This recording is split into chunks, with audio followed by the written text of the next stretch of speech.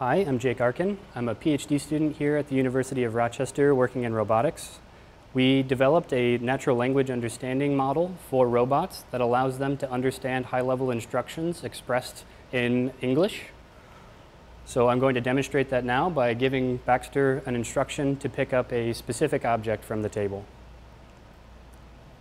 Pick up the middle gear in the row of five gears on the right. So the way our model works is it translates some speech to text and uses that to infer the most likely object that it's supposed to grasp. Then our Baxter arm moves toward the object and is very close to picking up the gear, but right now it's using some active uh, perception to servo around the gear until we're confident that the grasp action will be successful, which is what's happening now.